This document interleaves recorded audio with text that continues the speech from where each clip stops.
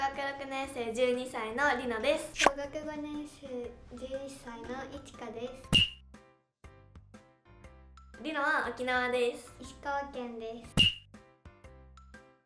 とりのはあのお姉ちゃんがもともとニコラを見ていて自分もニコプチを買ってみたらもうこの子たち可愛いな自分もメイクとかしてほしいなって思って応募しました。ニコプチの雑誌を3年生の終わりくらいから読んでて可愛いなって思って自分もその雑誌に載ってみたいなって思ったので応募しましたなんか嘘と思ってこれから自分が表紙になれるんだ嘘と思ってびっくりしました最初は「えー!」ってなりました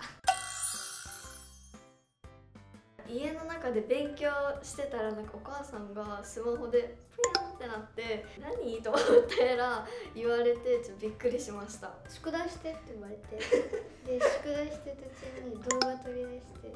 でなんか「なんかプチ受かったよ」みたいな「合格したよ」みたいな感じで 言われました。チャームポイントは目がクリッとしてるとこです。チャームポイントはまつげが長いところです。趣味は何ですか？趣味は絵を描くことで絵本みたいな絵を描くのが好きです。とスキンケアすることが趣味です。はい。なんかクレヨンとかを描いて指でこすってちょっとぼやかしたりしてちょっと可愛い感じの絵を描きます。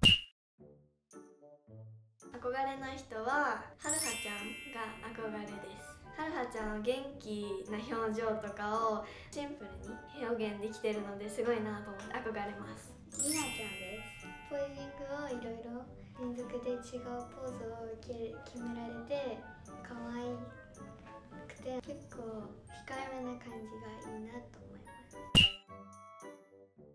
私はガーリー系が好きですとかっこいい感じのが好きです今ハマってることはメイクをすることです今ハマってることは特にありません。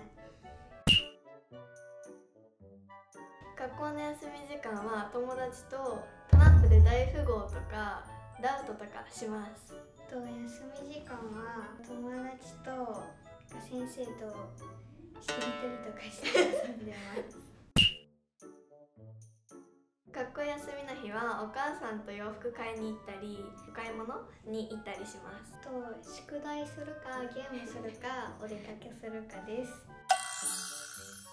アバターを作るゲームです。特技は足を使っていないいない場をすることです。特技はと柔軟とかと倒立ブリッジと倒立してからそのまま倒れることですはいできます。できます。いきます。いきます。いないいない。ばー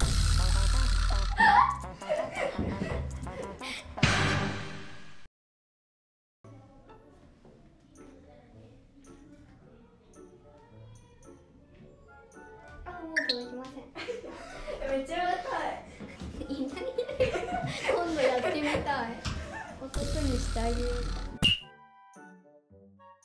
将来の夢はモデルもやりながら女優をしたいです。将来の夢は、えっと、モデルにやって色を作ってなんかなんかなんかを作りたいです。あのニコプチの読者の方たちにおしゃれの楽しさとか私の性格とかいろいろ皆さんに伝えられたらなと思います。と可愛いかっこいいおしゃれな服を皆さんにと頑張って伝わるように撮影してもらいますのでよかったら見てください。最後まで見てくれてありがとうございます。チャンネル登録とグッドボタンお願いします。バイバイ